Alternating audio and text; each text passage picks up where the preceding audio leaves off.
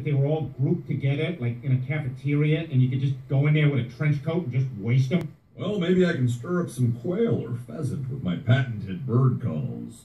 Birds, quail, pheasant! Come on out! I'm a bird of the opposite sex who's interested in mating! Did you hear that? We're gonna get laid! Billy, Billy, come on. Don't be stupid.